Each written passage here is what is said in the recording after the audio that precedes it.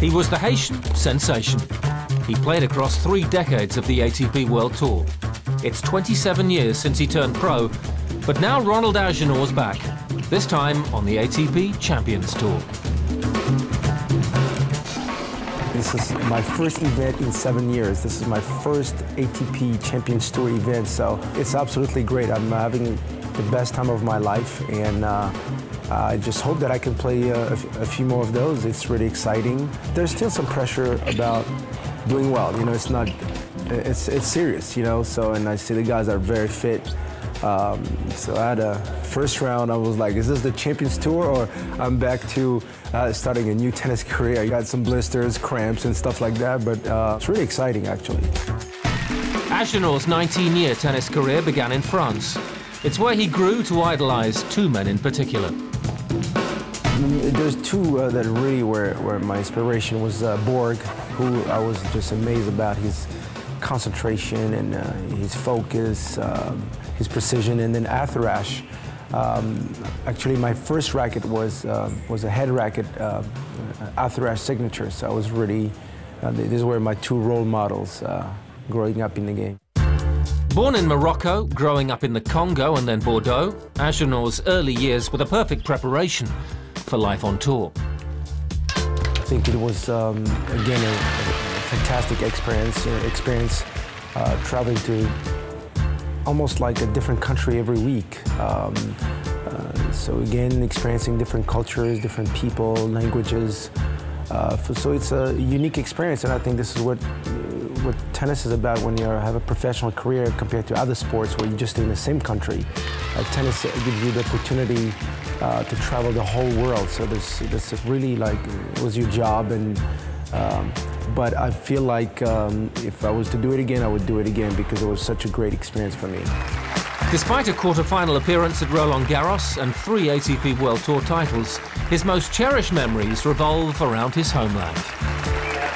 Well, the first big one, I think, was uh, the gold medal that I won for Haiti at the Central American Games in Cuba in 1982 because um, that was not a professional tournament, it was just amateur. And when I came back to Haiti um, after the event, I had all this crowd waiting for me at the airport and I, I didn't know what was going on. And they were like, I was like a hero all of a sudden.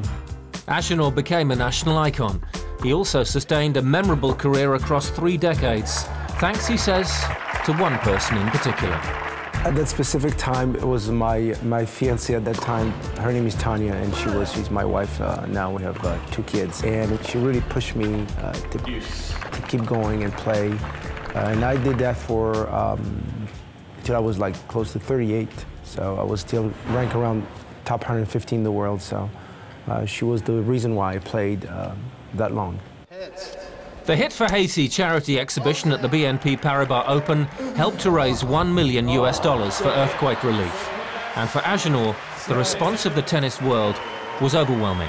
The ATP is doing uh, something great. I think the players, uh, actually, I want to thank uh, Roger Federer for doing what he did and all the players that are involved. Thank you very much because the people of Haiti really need, they need help.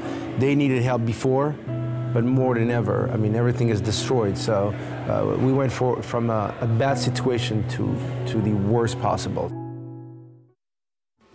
The Hit for Haiti appeal has inspired Agenor. He now aims to help the children of the country he calls home.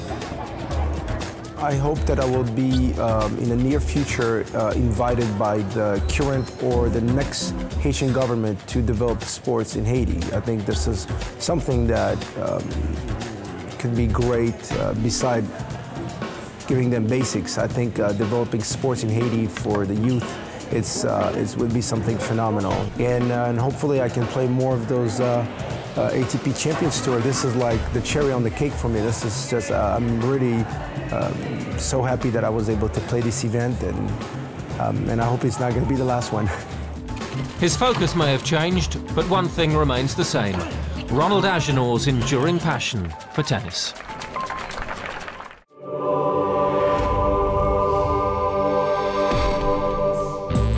Next week on ATP World Tour Uncovered, we stay stateside as we bring you a special behind-the-scenes report from the Sony Ericsson Open in Miami. And we speak to Holland's Raemon Sluiter. Personal tragedy took him away from the game. Now he's fighting his way back into the top 50. Until then, don't forget to log on to ATPWorldTour.com for your 24-7 breaking news. See you next week.